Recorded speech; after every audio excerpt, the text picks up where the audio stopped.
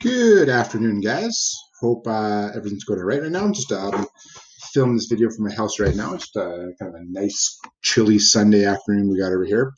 Um, all right, so just um, moving along in our exponential functions unit. Um, so this is going to be topic uh, 7.2, which is going to be transformations of exponential functions. So um, I'm just going to show you a quick little Desmos here. Typically, guys, what we're going to look at is, is y equals ac to the x plus k is going to be the um, kind of the form of all of our transformations for exponential functions that we do. Now, a couple things here. Um, c is going to be the base of our function. Now, what happens over here, c is not technically a transformation over here, but what this does over here, th th this is what the, the, the base of our exponential function is. Now, as you can see, the bigger that C gets, kind of the steeper this graph gets as well, okay?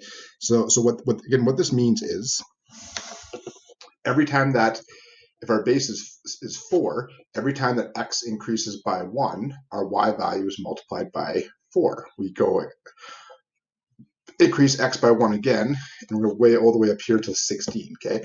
So what the base of our exponential does is this is the number that we're multiplying y by every time that x gets increased by 1, okay?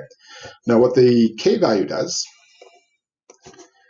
the k value is going to affect our vertical asymptote. It's going to shift the graph up or down. Okay, so this red line over here is our vertical asymptote for, for this function over here. That means the blue graph is going to approach this vertical asymptote, but it will never actually touch it or never cross it over here.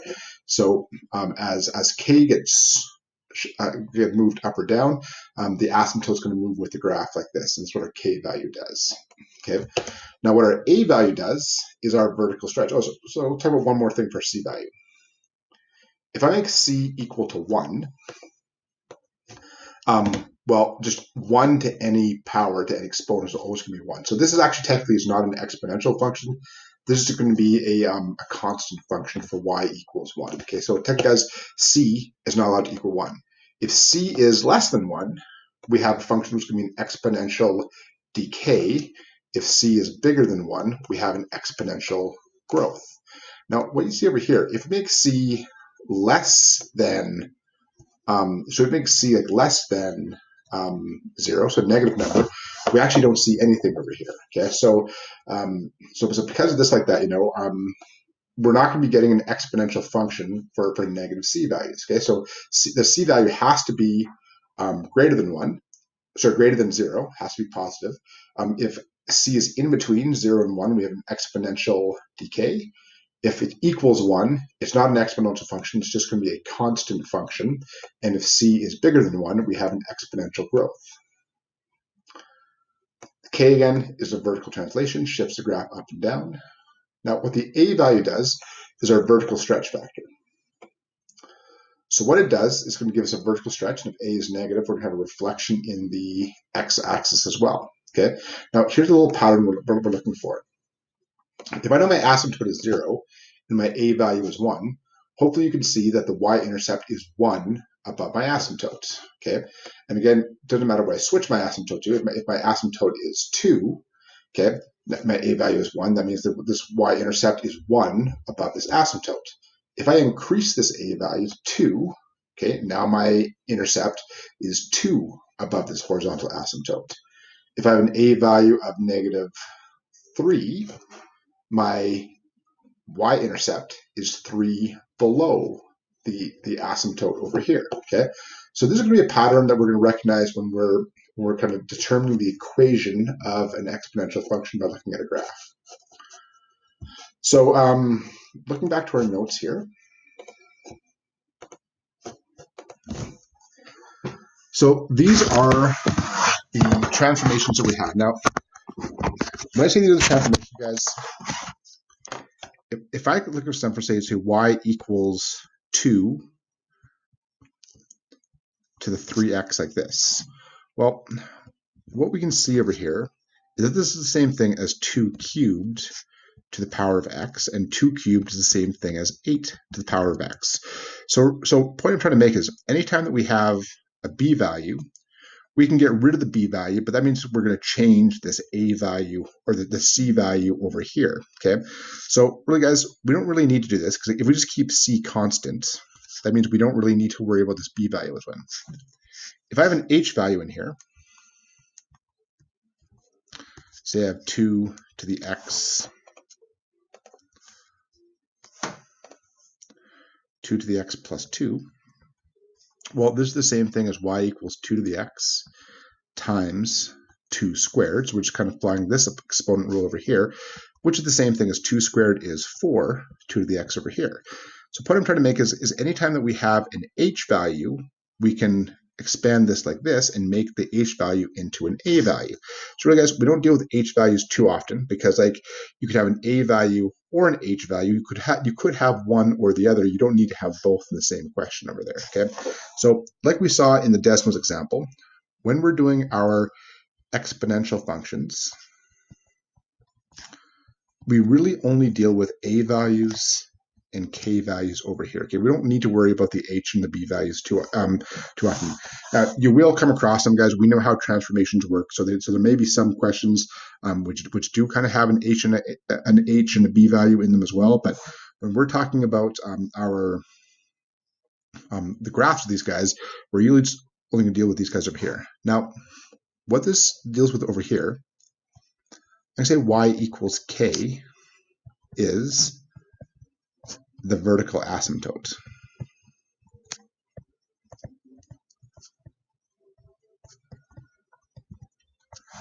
If I go the A value, this is the vertical stretch. And I'm going to put reflection if A is negative. Okay. But one thing we can notice over here is the y-intercept is k plus a. Okay, so I'll show what that means in a second here. In this question, um, we're asked to figure out the um, the exponential function in the form y equals ac to the x plus k. Now, for this guy over here, our vertical asymptote is going to be y equals 1, and that therefore um, our k value is going to equal 1. Now what we notice over here is that this is 1 and this is 2. This distance from here to here is 1. Okay, so what this means is our equation is going to be y equals 1 c to the x plus 1. We don't really need to write this 1 over here, okay? Now what we don't know right now is we don't know what our, um, what our c value is. Now to figure that out, we're just going to plug in this point in for x and y and solve for c. So that means 10 equals c squared plus 1. Subtract 1 from both sides, 9 equals c squared. Square root both sides. Guys, what we saw in the Desmos demonstration earlier on is that c has to be positive, has to be positive for these type of functions to work. So our equation for this guy is going to be y equals 3 to the x plus 1. Okay, similar idea for this question over here. We know that our, um, because the trick over here, it says negative 10 and then negative 12, negative 14, negative 16, negative 18, negative 20. Each tick is worth 2 over here. That means this is y equals negative 8 is the asymptote. Therefore, k equals negative 8. Okay. In this case, our y-intercept is 4 below the asymptote. Therefore, a equals negative 4. So our equation is going to be so far, we have y equals negative 4, c to the x minus 8. And now we just need to figure out what our c value is.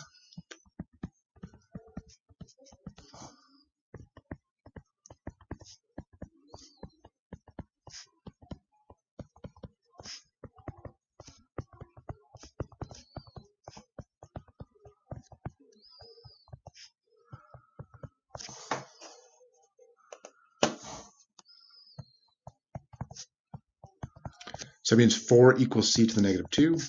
That means 4 equals 1 over c squared.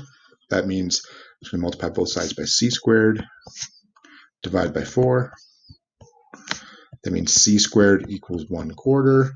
That means c equals 1 half.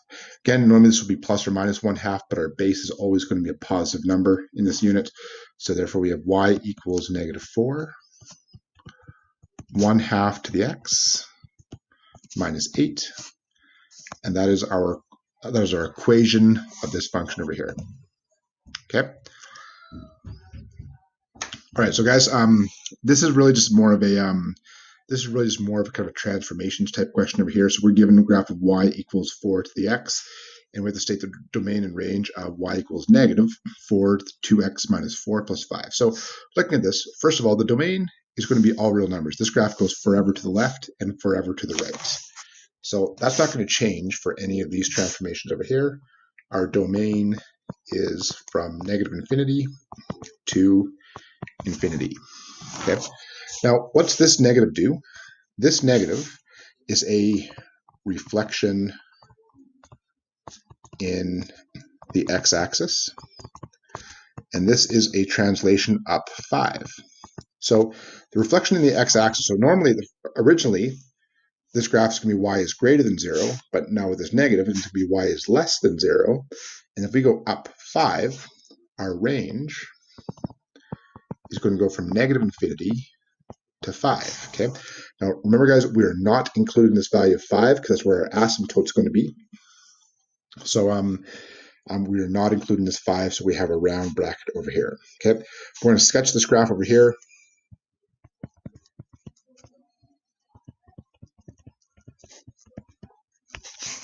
So I'm just going to write out mapping notation for this. xy equals 1 half x plus 2, negative y plus 5.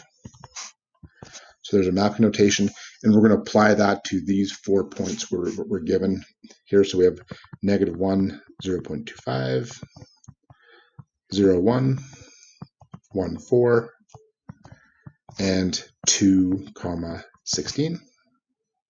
So applying that to these guys, 1 half times negative 1 is negative 0.5, plus 2 is 1.5. Negative 0.25 plus 5 is 4.75. So we got 1.5, 4.75 will be about right here. Um, this guy's become 2. Uh, negative 1 plus 5 is 4. 2, 4.